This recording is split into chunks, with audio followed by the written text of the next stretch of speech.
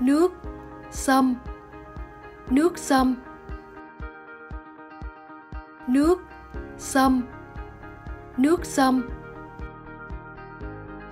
Mỗi khi thấy mệt, cô đều uống một ly nước sâm.